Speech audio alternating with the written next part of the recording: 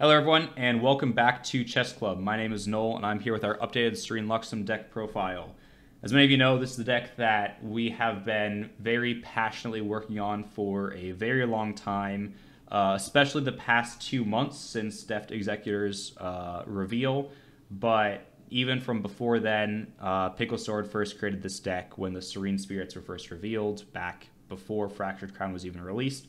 And it has gone through many, many uh, iterations since then, um, and it's truly a joy to see where the deck is now, and it is it means a lot uh, whenever I've been at events uh, recently and seeing people playing this deck that we've all put so much time and effort into and seeing how much fun they're having with it and knowing that uh, the efforts we made kind of were able to contribute to it. Uh, I know a lot of people thought that Luxem was not in a very good place, um, and that thanks to especially Pickle Sword's efforts now, people are realizing that the deck is very, very good. Um, personally, I think that this is the best deck in the format, and uh, this video is going to kind of talk about the entire thought process of the choices of why we run the cards in this deck that we do. If you're just interested in the deck list, it's been available, or the deck lists, I should say. They've been available on Luxera's map for many weeks um, by now, um, as it has been a long season. Uh, and this video is instead going to just talk through the why of the list. And it's why we haven't made this video yet, because we are competitive players first and foremost, and we wanted to kind of keep that to ourselves as we were going through um, Ascent Ontario into nationals. Uh, but now that the major events are kind of over for the time being, uh, we're going to lay it all out on the table and um, kind of really walk through our thought process. Um, as this has been a labor of love from everyone in Chess Club, um, truly everyone has played a very noble part in getting this deck to where it is, whether it's been brainstorming the list or testing the list extensively or testing against the list extensively. Um, as a fun tidbit, I believe that no one in this game has played against Luxem more than Matt has, and I think that's kind of neat. Um, but yeah, so uh, in case you haven't seen the original deck profile that I did for this deck um, after the Fractured Crown Michigan Regionals, uh, I'm going to be talking through, I'm going to do so similar format to that video, but it will notably be different content, of course, because the list has come a very long way since then. Um, and so I'm going to be talking through all of the card choices and, as I said, why the deck is the way it is. Um, so, Spirit of Serene Fire, obviously this is a Serene deck. This deck will not exist without this card. Um, plain and simple. Like, you could run normal Fire, Lux, and Zander, but the consistency that the Glimpse gives and the cushion that Recover 6 gives is impossible to understate how essential it is for this deck. The fact that your level 3 has 31 life, and almost more importantly, the fact that your level 1 has 25 life is so, so, so important at letting you survive the early turns against these aggressive decks like Fire Zander aggro. Um, and even against the ally lists, um, which I don't consider to be aggro decks, um, but they do put a lot of power, a lot of damage out pretty quickly. Um, the Serene uh, Recover lets you get to the stage of the game where your Luxem cards can start having an impact. Uh, then, of course, we have the Zander lineage. Um, Deft Executor, absolutely love this card so much. Always watching is better than people give it credit for. Uh, making Thieving Cut power 4 is very good. However, Deft is way better. This card is this card is amazing. It is on the power level of Orion Blade Master and Merlin Memory Thief. I don't believe this card is broken. Um, I have seen some people claiming that. I think that's just fundamentally not true. This card is very good, but it is in line with the other strong level 2s that we have in the game. Uh, being able to add back any assassin action or attack card um, just is a guaranteed plus one in a deck that needs plus one so much because you are running the Serene Spirit. And so you're starting the game minus one. Um, if you are not familiar with the terminology of minus one, plus one, I am talking about hand size or hand and memory size, so your total influence. And if you, when you're playing a level three deck, almost every single action you take needs to be taken when thinking about your influence, especially in this deck. Um, because you go minus six to level up to your level three, right? You're spending one to go to level one, two to go to level two, three to go to level three. So when you start the game with a seven card hand, if you go then turn or turn two, turn three, level or or turn four, I guess, then you're at 10 cards in hand because you've drawn three cards and you've gone minus six. So you're at four cards in hand already. And that's assuming you only made neutral plays. Neutral plays being cards that are not gaining or losing you influence. So Scry the Skies a neutral play. Fast Cure is a neutral play. Creative Shock's neutral play. Creative Shock discarding a Fast Cure is a plus one play. Um, and so when you're on a minus one from your spirit, the Zander plus one is very, very, very important. On top of that, it lets you do very nice plays with Juggle Knives, Thieving Cut, your removal spells, um, to kind of just maintain tempo in the game state. And getting the prep counter is extremely important for Insignia the Corhazi. This card, we, um, Pickle especially, was kind of vocal about not liking this card when it first came out. And um, I agreed with him. Um, but I agree with him in the that discussion was kind of centered on the context. Um, when Insignia came out, this card was not good. But that's not to say that the card itself wasn't good. Uh, so I guess the card was good. Insignia is a very powerful card, but the card was poorly positioned because there wasn't a good way to make use of Insignia. Um, in order to make Insignia good, you need to run a high density of prepared cards in your deck. Um, prepared cards are only good if you have reliable access to prep counters. However, a lot of sources of prep counters aren't very good, um, at least in a level 3 style deck. Um, you know, in Fire, you only have Mark the Target. Mark the Target sucks in this kind of deck. It's good in Fire as in aggro because um, it does damage and it gets you prep counters for more damage immediately. So it's just a it's a burn spell. Mark the target in this deck is just a minus one, um, which is awful. Um, so the reason that Insignia is now a very viable card in this deck is because of Deft giving you the extra prep counter, which is phenomenal because this card is amazing. This card draws you two cards. I mean, it, it only will, it usually only draws you a single card, However, there are a lot of games where it draws you two cards. There are some games where I've drawn three cards off of it, and that is just absolutely insane. The other great part of the card is just the three tap. Um, it does like it, three tap do nothing would even be fine on it. And the reason for that is because once you're level three, you want neutral plays to get cards into memory uh, in order to trigger your or for Zander to reveal and get your Luxem effects. Um, so just having a way to do that is great. Getting the prep counters build up to then get payoff your prepared cards is just it's beautiful synergy. Um, so yeah, so we run Insignia and we run Luxera's map. Um, this card is one of the best cards of the game, and I now fully understand why it has the restrictions it does.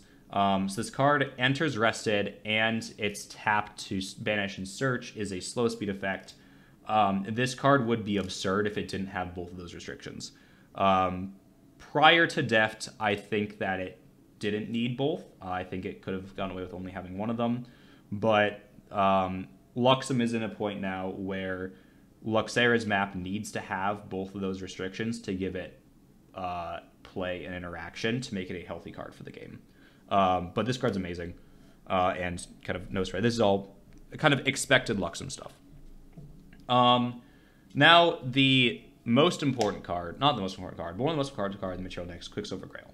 Um, this is a card that I had messed around with in the main deck back in uh, the end of Fractured Crown format, and that is because uh, Matt is my local, and so at Store Champs, um, I at Store Champs you kind of know your local meta, and so you can tweak your list for that. And so I knew that Matt was going to be playing Erupting, so I mainboarded Quicksilver Grail um, to have Lantern in, and Quick Grail Lantern in it for a hopeful edge in that matchup because that matchup is horrible.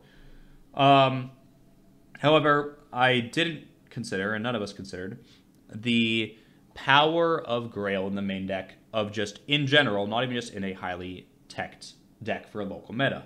Um, we would not have thought about it if we didn't see the list from the Card Merchants Hamilton Regionals um, that uh, Dees was piloting. Um, he was running uh, our Ontario list uh, mostly, but with a couple variations, including mainboard Quicksilver Grail and mainboard Gawain's. Um, seeing that made us kind of consider it, and we realized that we absolutely wanted mainboard Grail. We started testing with it, realized how powerful it was, um, and the reason it's so good is because you have uh, you have these three defensive cards um, that you're playing in the deck, um, and then also these cards. And I have grailed all five of these cards.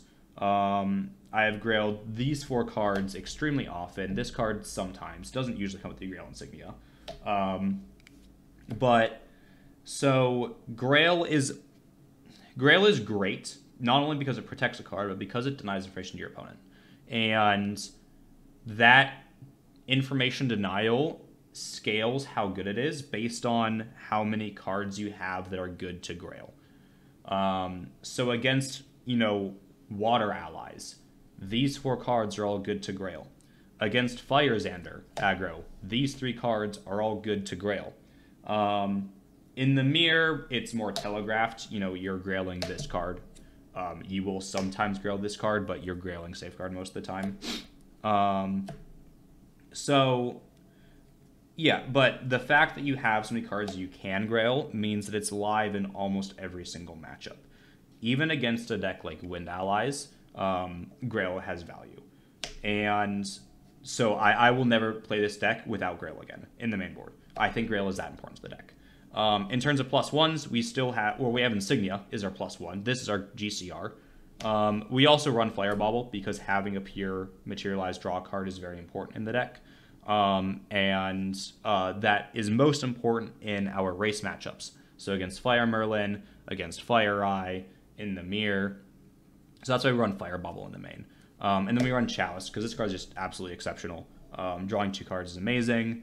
It's one of my favorite cards of the game, and there's just so many cool plays you can do with it, with like you're at 19 health, so end of turn you juggle knives, put yourself to 20, you materialize this. You're at 18 health, so you ping yourself with Lightweaver's Assault, and then you pop this before you cover down with Sights. Um, or your opponent tries to play around Chalice, they leave you at 17 health, and then you just go and grab Terrafring instead, and you recover more, and like, or they put you to 24 health, and it's like, oh, I can kill you. It's like I can grab Chalice, or I can make a play to not die with like Tariff Ring, and then I'm going to recover some, and you're going to do more damage to me, so I'm still be at 20 next turn anyways, so I can delay my Chalice and still get the value out of it. Like, there's there's so many cool lines you can do with Chalice that I find very fun.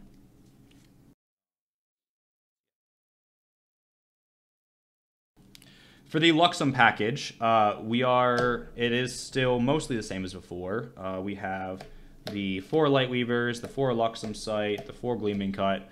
Um, it's these cards are good. Uh, we have now the main change is we got up to four Excalibur. We're still running three Uncover the Plot. The reason that we got up to four Excalibur is because this card is amazing. Um, plain and simple. I mean, uh, so the reason it's so good is because it's unconditional removal. Um, it just says destroy any card and or destroy target non-champion object. Um, but that is extremely powerful because there's just so many good things to destroy. Um, in the mirror, you almost want five Excaliburs because you want to break their map, you want to break their insignia, you want to break their grail, you want to break their safeguard amulet. Um, you also and then you, but you also like you're not going to draw all of them, so you kind of so there's like like every Excalibur has a use in the mirror.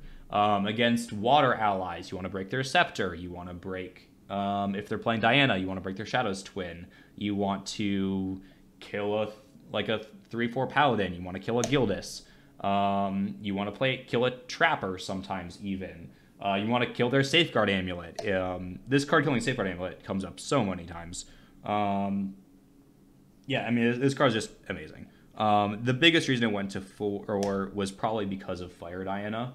Um, just killing Shadow's Twin is too important, and because if that card sits in the field, you you kind of just lose. Um, I mean, you, have survived games um, with like eight creeping torment or nine creeping torment, um, but it's not likely. Um, and the games are much easier if you can just kill Shadow's Twin and exercise Curse your two torments and not die. Anyways, Luxem package is kind of standard, and there isn't much to really talk about with that. Uh, well, I say kind of standard. We're making the standard, I guess, but like, anyways, uh, four dungeon guide, obviously, four fast cure, four exercise curses. Um, this is now the next like big deviation to the deck. Um, it's the biggest change we made after Ontario. Um, the reason that we've gone down to only eight floating memory, as I fumble about with these cards to make it look pretty, we've gone down to eight floating memories. We cut the two stalwart shieldmate. Um, is because of two things. Number one, going down from 10 floating memory to 8 floating memory impacts our creative shock math only slightly. Um, it is a, if I remember correctly, it is a 3% um, less likely chance that you're going to draw um, these with creative shock. And um, so over the course of a major tournament, that's going to affect one or two games. Um, if you think about it, uh, you know, a 3% chance means out of every 33 games, you are using it one less time. So like if you went from I think it's a 36 to a 30% or a 36 to a 33% chance. Um, so over the course of a 33 game period, um, doing this math right? Yeah, over the course of a 33 game period, you're having one less game where you are opening with Creative Shock and Exercise Curses. 33 games, that would be 11 best of threes if all of them went to game three. So realistically, a lot of games are going only to two, so it affects basically one game in one match in one of one round in one major event where you're playing 12 rounds of Swiss and Top Cut. So basically, it doesn't matter in that sense.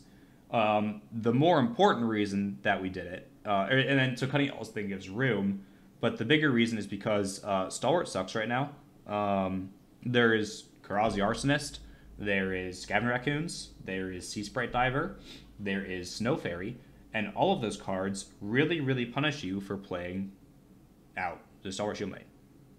And it is not worth having Shieldmate to like resolute it to block Diana attacks to then open up the extreme like punish plays of well, if your only turn one play is Stalwart Shieldmate playing against Fire Firezander, do you play the Shieldmate and then cry a lot when they kill it and Arsonist or Arsonist kill it, or kill it and then play Raccoon? Or do you pass turn? Like neither of those are good options. So instead, we just want to maximize out on our two cost fast floats, which are these two cards. Um, these cards are great because they say level up for free. Um, and then this just makes the of match good, and this card recovers a lot of the time. So yeah.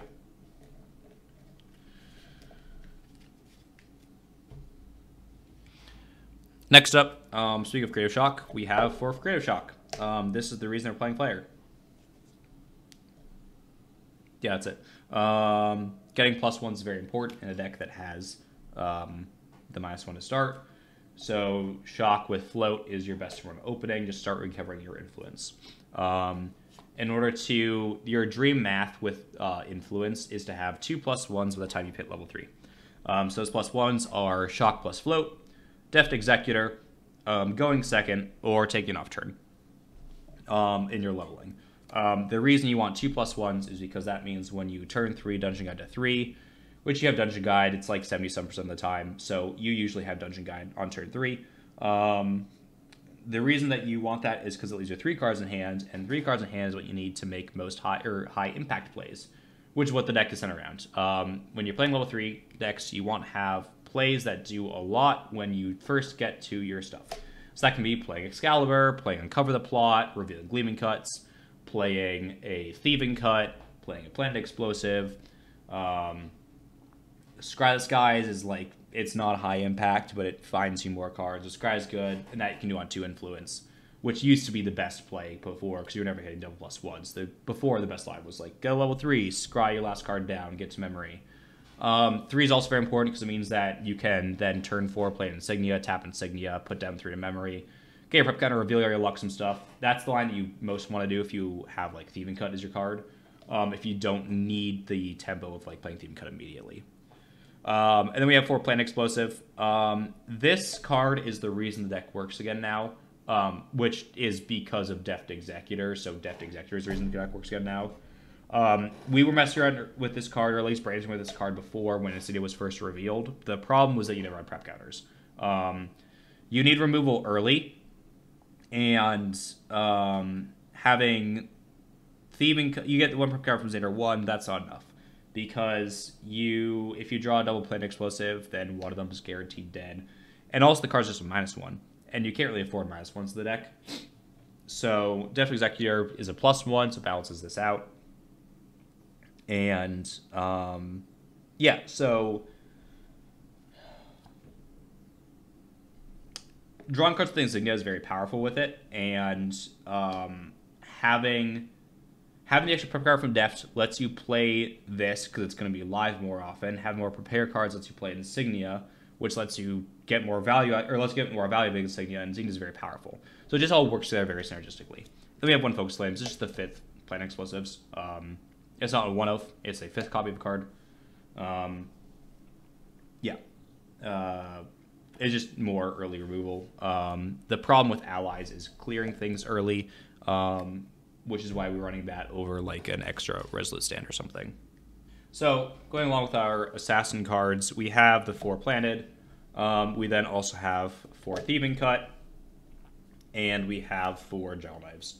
Uh, these cards are all amazing. I've already talked about playing explosives, so we can get that card out of here. But so we have 12 assassin cards um, for Deft Executor. So Deft Executor is almost always a plus one, um, and that or so he's a neutral play with Planted. He's a plus one with these cards. So these cards already replace themselves. Um, so because of that, um, you are you are very often getting your plus one with Deft. Thieving Cut is absolutely incredible. Um, neutral removal is everything that you need in a level 3 deck um, because you're going down in influence so much to level up that you need to play neutral plays, but you also need to interact with the board. So neutral removal is kind of a requirement almost to play like an effective level 3 deck, unless you're playing a deck that can like cheat a lot. Like uh, Crux cheats a lot because you're playing Flame Sweep and you clear a bunch of stuff. Like that's that's a high value line, but Crux kind of gets folded over when it doesn't have Flame Sweep by al- against allies, and then you're just like leveling and not really anything. You're getting influence, then you get to level three and you try to stabilize, but unless you can like slam a deer down um, quickly, you kind of just lose. It's because you don't have neutral move on the deck. Incendiary Fractal is pretty good, um, and I think for the where it's going, is Incendiary Fractal is good in Fire Merlin, but um, this isn't about uh, that. So this card just replaces itself is amazing. Juggle Knives is also the single most underrated card in this deck. People constantly ask if you can cut Juggle Knives, and we have to constantly tell people no. Do not cut this card. This card is absolutely amazing for the deck. Um, being able to put Luxem into memory at fast speed is incredible. Um, the chip damage from it comes up a lot. You can cycle your hand if you're on the Luxem, if with um, uh, Deft, where like you end a turn juggle, level up, grab back Deft, or grab back Juggle, prereq Juggle, draw another card, just to help dig into your Luxem cards before you DG up. Um, but it, again, also though, if you already have Luxem cards in hand, then you just don't prereq it because you're going to sit down and banish it because you want to risk banishing Luxem cards. So these cards are amazing. Uh, next up, we just have our increased consistency. Uh, we just four Scry the Skies to Serum. Um, this card is two more Creative Shock or two more the Skies. Kind of think about it two different ways. Um, early game just digs you for Dungeon Guide, which is extremely important. And uh, late game, it finds you Luxem cards, also very important. Um, same thing with Scry, neutral line early game, late game digs your Luxem cards, extremely important. Um, these cards just help really smooth out the deck and ensure that you are hitting your Luxem cards as fast as possible. Uh, and then we have three Resolute Stands because uh, it wins you the game against Fire Zander, and it just helps buy you time against ally decks. It's very important. Uh, we have two Gawain. Um, this is a card we were already considering um, in the main deck, um, especially because we expected a high amount of mirrors. And then um, kind of D's was running at the main deck, and we're like, ooh, hopefully people don't catch on to that as well. Um, it basically just replaces Gawain from a previous list, and we expected a higher amount of mirrors going to nationals, just how popular the deck was picking up looking at the regional results. Um, but um, yeah, this card's amazing. It's just very versatile. It performs in almost every single level three matchup, though it is mainly here for the mirror. Uh, just ripping, ripping like light result for your opponent is very high impact. Um, and yeah, against Merlin, you just rip an Incarnate Majesty or a Fireball. Um, against Rai, you can rip like their Peer or their Advent, depending on like what they're lacking from their hand. Um, and it also just gives you information, which is very important. Information is king in card games, um, so just knowing your opponent has is very useful. Uh, then the last card in the main deck is Oasis Trading Post. Um, for whatever reason, no one outside of us has run this card, even after we revealed it. Um, so this card was in our deck at Nationals, and then no one was running it at Regionals. No one ran it at Oceania Nationals. No one's running it at um, Southeast Asia Nationals. No one's running it at other like foreign regionals. And I do not know why. This card is amazing. Um, it is it is sort of an extension of the Serum Scry package. In a way, it's a third Serum, um, but it is so much more than that. Um, this card was kind of its need was identified by Burner when we were testing the mirror. Because in the mirror, if you destroy your opponent's insignia and they don't have neutral plays in their hand, they're in a really bad spot. Um, and so he identified this problem, and then Pickle suggested, well, why don't we try Oasis Trading Post? Um, it's a card you can dig for in the mirror because you dig through so much of your deck in the mirror already. And it gives you the functionality of, of Insignia, but it also is Excalibur proof, quote unquote, because your opponent cannot afford to Excalibur both these cards. So, so I was kind of getting at earlier talking about Excalibur in the mirror, is you need to break Map, Grail, and Safeguard, um, which means there's one more Excalibur for one of these. They can't break both of them. And Oasis is just very important filling that slot in the mirror, letting you have initial plays. But also, Glimpsing 2 is extreme. It's I can't understate how important every turn Glimpse 2 is. Because it means that you're looking through up to three cards a turn when your opponent's only looking through one card a turn, just in their like draw effect. Um, and so you're going to find more Luxem than your opponent on average. Um, and seeing more Luxem is sort of one of the big key cards in the mirror. So it helps turn the mirror from a battle of like, well, who sees more Luxem to we're having an edge because we are going to see more Luxem. And having that kind of deck building edge is extremely important. It's also very good against uh, decks um, because making a dude is very good. Because having a 1 1 means that your Light Assault is now a 3 damage removal spell when you reveal it. So you reveal it, you do 2 damage something, and you have a dude and you kill this thing. So end of their turn, you make a dude, you can go to your turn. You can uh, uh, reveal double light weavers, ping two things, dude attack, kill a thing, make another dude, kill another thing. And it's like, wow, I just killed two dudes. When before I could have only killed one dude if I didn't have this card. So, Oasis is amazing. Um, it's kind of like how killing Dungeon Guide is important. Um, it is like having just more access to one power beaters, and that's really cool. And then gathering sometimes happens. You only ever really gather if you have already glimpsed the top through like Scry or Serum and know that you know what's on there. So then you just gather instead if you don't have the stuff to make a dude, or you're in like the mirror because dudes aren't really doing anything in the mirror. Uh, that's live. Actually, made dudes in the mirror just help beat down my opponent, but that was a weird game. Uh, I only have it once. Moving on to the sideboard, this is where the deck has changed the most since Ontario, and um, we, I think, caught those people by surprise in nationals with it. Or people were very intrigued at the sideboard we were running. Um, but first, the, the normal part of the sideboard is just Water Bauble, GCR, and other Focus Flames. Um, this Focus Flames also, um, here we're going to go Focus Flames slash Serum. Uh, and Nationals are five of us from the deck. Myself, Ver, Burner, Mr. Mulligan, and Pickle Sword. Rex would have been the sixth, but um, his plane had infinite delay problems, so he wasn't able to make it. But uh, Pickle Sword ran Serum, and Ver was going to run Serum. The rest of us ran Focus Flames. The idea being just that this extra removal against allies, which we were worried about being a problem.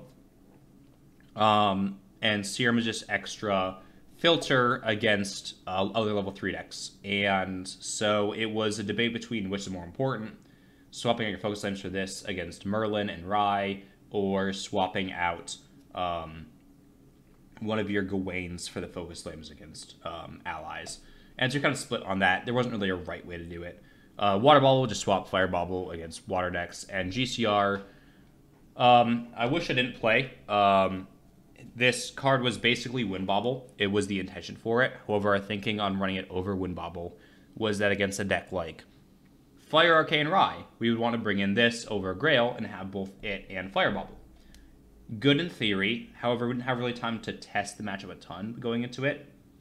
And what we found in practice um, is that against Arcane Rai, one, you don't have time to materialize both Grail and or both GCR and Fire Bauble. We're also materializing um, your Insignia and Safeguard Amulet and hopefully Map. But also, if you materialize Map, um, Riser Sword and Disintegrates, uh, which we disrespected, and we said they're just going to side him out against us, um, or whatever. And so you play your naked map and they disintegrate it, and now you are at a big tempo loss. So instead, in the mirror, or against um, them, not the mirror, sorry, against Rai, it's just better to grail your map than play GCR because you'd rather a guaranteed Luxem card than just one random influence. And if you need the one influence, you play Fire Bauble. Um, anyway, so this card should have been Wind Bauble. Um, also, for the record, to get on tape, I think it's dumb that the baubles exist. These cards are GCR, um, and be able to play Grail with baubles is dumb. I think that's wrong. But, anyways. So then the other part of the sideboard, which kind of spread around the room at Nationals like wildfire, was the water package for fracturized and Drain Water. Um, so the idea behind this is that, yes, it's good against erupting. However, it is not for erupting specifically. Erupting is the side benefit of this package. However, this was mainly brought in to fight Fire Diana Umbra because that matchup is very difficult. However, if they double DG you to taser shot you, which is why the matchup is difficult, you can just fracturize their Shadows Twin. And now the matchup is an auto win. If they don't double DG you, then you're fine because you're not taking the 8 taser shot damage, or the 16 taser shot damage. 8 taser shot damage is livable, 0 taser shot damage is very livable, 16 is not livable. So, having this access makes the Fire Diana Umbra matchup that much better. And shockingly, actually, I shouldn't say shockingly, most people didn't realize it. Everyone thought this was for erupting. Can't blame them. It seems very telegraphed that it's for erupting, um, which kind of worked to our benefit, or should have worked to our benefit. In practice, didn't actually play against that many Umbra. But um, it is also good against Erupting because Fractured Lantern is very good against them. Um, they can Duskblade it, but if they Duskblade it, in response, you just play Excalibur. Um, so if you don't know this ruling, with Duskblade Communion, it's a Fantasia with an alternate or with an additional cost to banish an Astra or Umbra card. When it enters the field, the Onyx effect goes on the stack. When the Onyx effect resolves, it checks the property of the banished card, and then if it's an Astra, destroy Fantasia. If it's Umbra, champs get minus one level. Um, this is a very weird interaction. It is the only interaction like this in the game. It does not plug in the Air Fantasia currently. Um, but because it checks the property of a card that it banished as cost, if it is no longer in the same place when it resolves, it cannot check the property of that card. It's sort of like if you're copying a file off of a USB drive and the USB drive is unplugged in the middle of the file copy. Um, it just it's not able to check the resolution of it. So with the unnatural effect of display on the stack, you Excalibur, target Dust Communion, it's destroyed, its effect fails to resolve, your Fractured Lantern stays on the field. And now you've won the game, basically automatically. Um, yeah, so that's the that's the exciting spice about this. Um, definitely will continue to run it um, as long as Erupting and Fire Diana Umbra are popular. So to give them Limelight, just one um, Southeast Asian Nationals with um, Fire Diana Umbra. I expect that it will stay popular. So moving on, um, some cards, I guess, now I'll cover how the Ontario list was different. Um, we had two star Shieldmate in the main, which I talked about. We had Choking Fumes in the main, as opposed to opposed to um, uh, let's see, we had that in main over Fire Bauble, and then the uh, Quicksilver Grail was GCR in the main. Um, I've already talked about this. We think this is much better now, so we'll run this package now. Um, and then the sideboard at Ontario was this with Orb of Regret. Orb is a very good card in the deck. Um, it just gives you a guaranteed shuffle, and it lets you filter for Luxem pieces. However, um, with the water package, we felt that there just wasn't room for it, so with the baubles in the deck as well. Uh, we ran two Blanche. These Blanche just became Gawains, so they're effectively still on the list. They serve a very similar role. And then we ran three Spurn. Um, Spurn was Surfire and Umbra. Um, it's just a more, it's a smaller package to cover the deck, and this is the sideboard that you saw most people running at Southeast Asian Nationals and at Oceania Nationals was a sideboard similar to this one, not like our water-based one. Um, it is, if you need the space, you can swap to this, but the water package is more effective against Hannah because it's fast speed. Also, fractures float, which is useful, um, as opposed to just like the minus one. So that's how the list was different in Ontario. Um, basically, it just got better. It, the list just got strictly better. Um, now, the other interesting variations are um, at Michigan or at the Houston regionals. Um, I got seventh place. Um, so I made, top eight with uh, this, um, this. So I, I still ran this and the sideboard, but I swap. I cut the GCR and the um, the GCR and the Focus Flames for a Serum and a Gawain. The reason for this is because a lot of the ally decks made top 32, and a lot of erupting decks didn't. So I expected a high erupting um, field, and so just tweaking this just helped cover that. Um, Gawain's good against erupting because you rip their Rhapsodies, or more importantly, you rip their Dusklights, um, and so it's just a consistency piece. So these just came in over the um, the Oasis and the Focus Flames. Um, yeah, this was solid. Um, I think it was the right call for the event, um, but not really much going forward. And then um, at Michigan Regionals just recently, I did still run the GCR. Um, I wish that I just ran Wind Bauble. I don't know why I didn't just run Wind Bauble. Um, just run Wind Bauble. Um, and then I ran Caliburn this card uh, was um, first used by Geo in one of the Australian, I think it was the Greensboro Australian Nationals, or regionals, not nationals. Um, this card is just excellent. It um, we thought about the card before just as a good answer to Rai, but we didn't think about its applications beyond that, and so it never made the cut in any of our lists.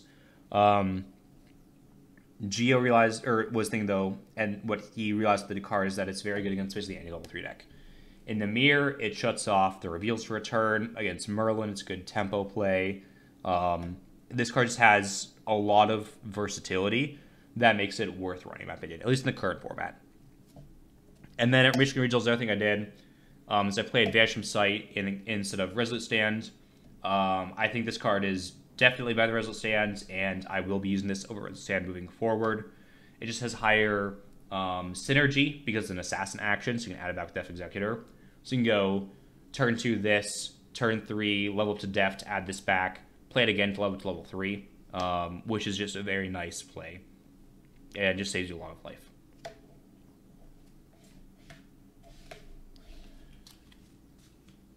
So yeah, that is the deck profile. Um, thank you everyone uh, for your interest in this deck. Thank you everyone that has kind of shared their kind words, saying how much they like the deck and how much fun they've been having playing it. I think that this deck is the most quintessentially Grand Archive deck in the game because of how the Luxem mechanics, or I guess not as this deck, but Luxem in general, is the most Grand Archive um, feeling thing in the game because of how intrinsically it works with memory, which is the defining mechanic of Grand Archive. Um, it's the resource management and the leveling up and using uh, level three cards that make the game special, in my opinion. And this deck does that like nothing else. So I absolutely love this deck. Um, I hope other people continue to enjoy it.